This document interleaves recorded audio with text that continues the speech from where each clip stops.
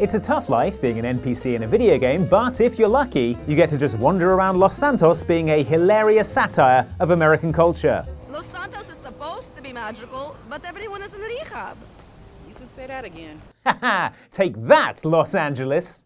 If you're unlucky, however, you get placed in a spot that makes it all but guaranteed that every single player who passes through is going to make sure they murder you in as effective and messy a manner as possible. Maybe you're blocking an important route. Maybe you're stood next to a new weapon they want to test out. Or maybe you're stood precariously on a big precipice right when the protagonist learns how to do cliff kicks. Whatever it is, you're straight out of luck, just like these seven unlucky NPCs everyone always kills. Enjoy, and beware spoilers ahead for the following games.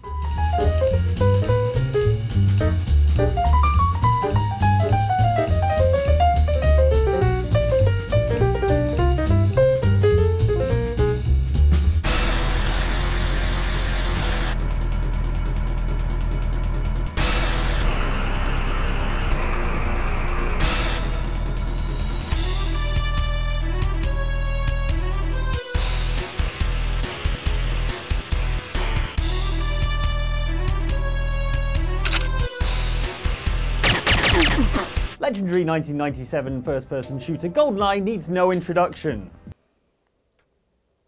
What? I don't get paid by the word. The second level of the game, Facility, has you secretly infiltrating, holy sh**, a facility, having bungee jumped off the dam that looms above it in the level prior. But in order to get in, you have to do some proper spycraft. And by proper spycraft, I mean crawling around in the vents and sneaking in via the toilets. Jeez, at least give the guy time to shake.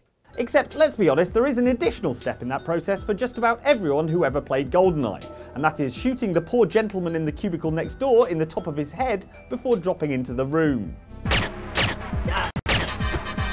Or indeed, clearing out the bathroom and then wrenching open the unlocked cubicle door and gunning down the hapless goon. We're struggling to think of a less dignified way for a video game mook to go out than that. Still, at least he had his trousers up. Although that does raise a whole host of other questions.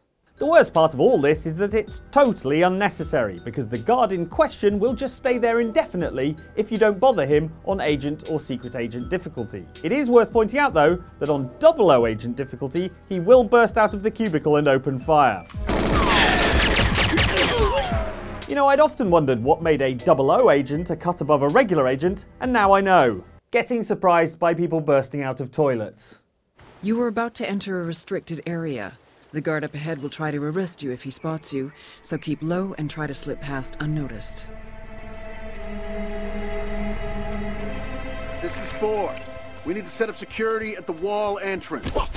Subdue or kill. The choice is yours. Usually in Hitman games, you're given total freedom to approach the mission however you want, so there's unlikely to be any one luckless NPC who gets more than their fair share of deadly visits from Agent 47. Well, except maybe Sapienza Mansion keycard owner Rocco. That's not always the case though. 2012's Hitman Absolution included a tutorial mission that showed you how to play the game that was a lot more linear than your typical Hitman mission, and as such, everyone who played it would have taken pretty much the same route, at least in the early stages. Keep using instinct until you are safely inside. That's why everyone who played it would have come across this guard leaning out of a window overlooking a sheer drop to the jagged rocks below, who was simultaneously experiencing both great luck and the worst luck it's possible to have. Great luck because he's just been given the cancer all clear from his doctor. What? You're kidding. Wait, are, are you sure? It's not prostate cancer. I kiss you. I mean, that's great news. Oh, man, you made my day. The worst luck because he's an NPC leaning out of a window in a Hitman game. This encounter is tailor-made for you to yank this poor guy to his death, even giving you multiple setup lines on which to do it for maximum comic effect, like this. I thought I was a goner. Not that you'd know it from the way the game sets it up, but you absolutely don't have to kill this guy. If you wait a few moments, he'll wander away delighted, and you'll be free to carry on with the mission.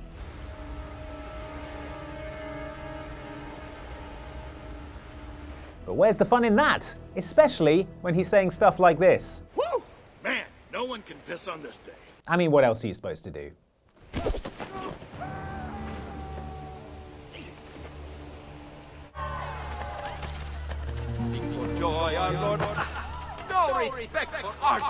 Spare a thought for the poor, hard-working minstrels of Assassin's Creed. No, wait, hear me out. Sure, okay, these musical non-player characters are as annoying as they are omnipresent in the streets of Renaissance Italy.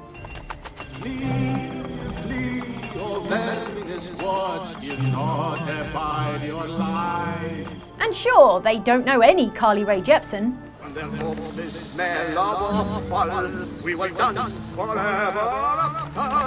and sure, the way that these minstrels appear to pester you, a busy assassin trying to keep a low profile in preference to literally everyone else on the street, does suggest that there's some kind of covert agents in the pay of the Assassin Order designed to test whether or not you are responsible enough to have a hidden blade. It turns out you're not.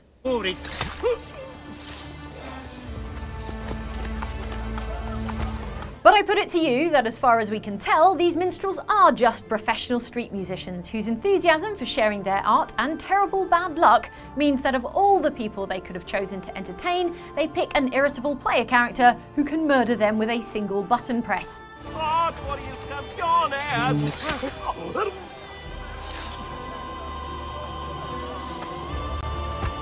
A player with any degree of self-control will eventually condition themselves not to murder every minstrel in shanking range because it causes a game-halting desynchronization on account of how out of character it is for good guy Ezio to kill a civilian for getting on his nerves.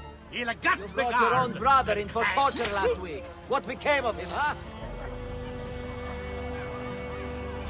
But even so, Ezio can't disguise his contempt for these NPCs, even when disguised as one of them himself. I am a tactless minstrel. I sing off key for coins. If you spot me in the street, please kick me in the loins. It's hardly call me maybe, but it's something. You? Yep. Oh, all right. So, so what's the plan? Eight targets one day. We're gonna need a couple more Colts in here if we're gonna wreck this island in a Colt What? storm. No, listen. I can't stay long. How did you even get in here? Didn't you get shot two loops ago, or, or, or was it three? Show me Different the way. Colts. Look, there's thousands of us, or more. I, I don't know, but none of us have gotten it right. Deathloop is a time looping, paradox hopping, mind melting sci fi story that is as confusing as it is mysterious. But all you really need to know is that you can kick people by clicking in the right stick. Now I understand time travel because I booted that guy into next week.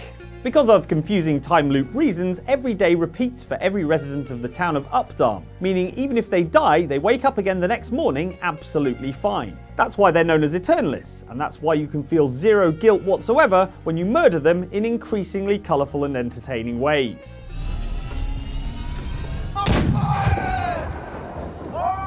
See? He's loving it! Pretty sure he was loving it. It feels a lot like the game is encouraging you in this direction, when literally the first Updaam resident you come across in the very first loop of the game can be found standing on the edge of a sheer cliff, facing away from you and throwing rocks into the abyss. It couldn't be more of a gift if they'd tied a bow around her, which, having seen some of the fashion choices in Updaam, wouldn't actually be that out there. So yes, I think you can safely say that the game expects, nay wants you to treat yourself and hoof this lady off the cliff.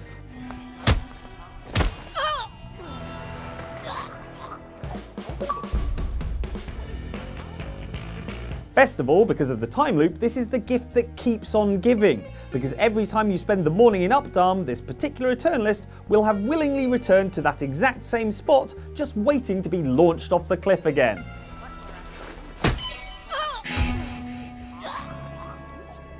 Definitely, 100%, without a shadow of a doubt, loving it. Thus began the Age of Fire.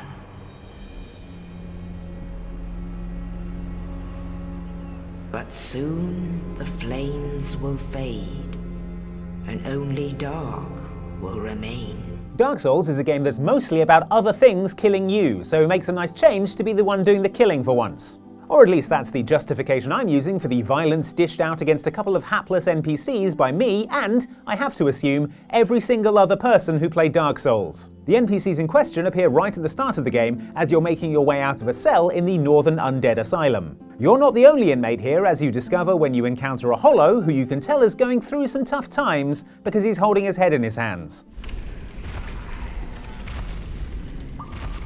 Oh, and also because he's imprisoned in the Undead Asylum. Most players will, of course, take this as an invitation to beat this guy's head in, but even if you manage to avoid that siren lure, further down the corridor, you'll encounter another hollow bashing his head against the wall next to a helpful note from the game's developers reminding you how to do a strong attack. I mean, be rude not to, right?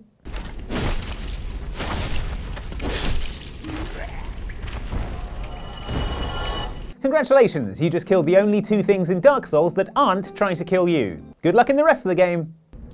You'll never guess who's awake. You sh me. Come see for yourself. How long has it been? Years. In Saints Row 2, you wake up in a prison hospital after a terrible accident. And that terrible accident was Saints Row 1. Julius called and said you might be stopping by. Look, you looking for a little something something? Because if so, I can let Peggy over there give you a ride. Not a good game. Narratively, though, the reason you're stuck in traction is that there was a boat explosion at the end of Saints Row 1, and you've achieved the misfortune double whammy of being both imprisoned and hospitalised. You got anything you want to say to the judge, you better start thinking of it now. You're wasting your time. What was in that boat? A shipment of mirrors and black cats? It's not all bad news though, thanks to the care of the diligent team of medical professionals at Stillwater Correctional Facility, you recover from your grievous injuries and awake from your coma. How's the patient? Seeing as they're still breathing after being caught in a massive explosion, I'd say pretty good. Dang, that's some really excellent medical care. I wonder how you'll show your gratitude. Maybe a bunch of flowers or a, you know, box of chocolates. That question is answered by the very first objective in the whole game, which is to kill one of the very doctors who has been looking after you. This objective is totally random, totally unnecessary, and most importantly of all, totally mandatory. You're getting more than you bargained for. Drop these assholes! Jesus! Who else wants a piece, eh? Literally everyone who wants to progress beyond this first scene in the game will have to kill this non-hostile Doctor NPC, even though that's absolutely the worst thing you'll do in the entire game. Alright, maybe a very close second. This is Little Lamplight.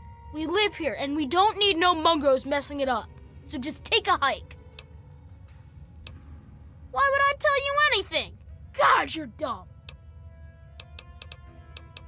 Hell no! No mungos allowed! Sooner or later in Fallout 3, you're going to come across a town called Little Lamplight, which is populated and run entirely by children. This might sound like the worst idea for a settlement until you realise the nearby town of Megaton is built around a giant unexploded atom bomb.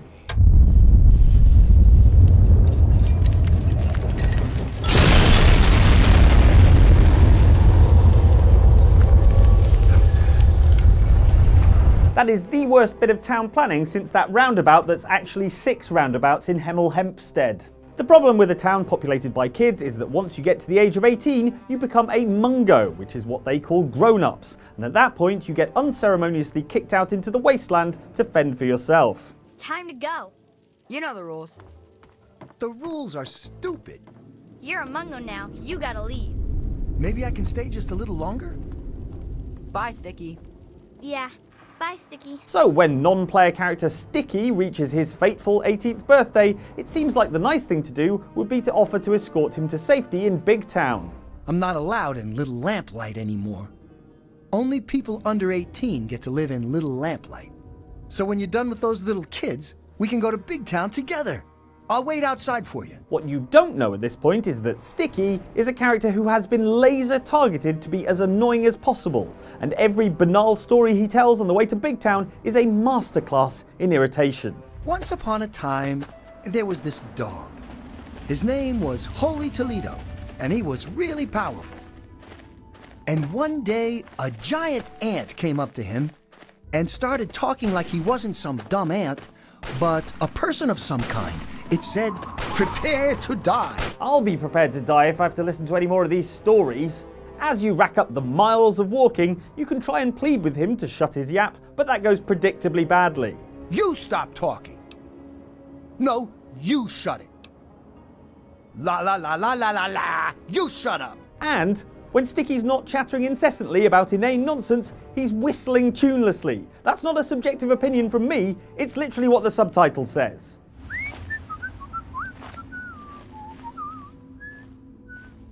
Look, we're living in a blasted radioactive wasteland, riddled with mutated monsters, and where the definition of a good meal is one that doesn't cause all your teeth and hair to fall out. Can we not whistle? Ultimately, Bethesda has successfully created one of the most murderable NPCs in all of video game history. Are we there yet? At first, you might hesitate to pull the trigger because, in theory, Sticky's just a kid, but then you'll hear another powerfully irritating line of dialogue being delivered in the voice of what is clearly a grown ass man, and the only course of action becomes clear. And was our so called hero scared? You bet he was. He cried like a little baby. Wah, wah, wah.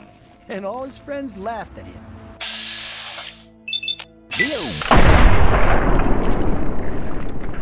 Well, he's definitely sticky now.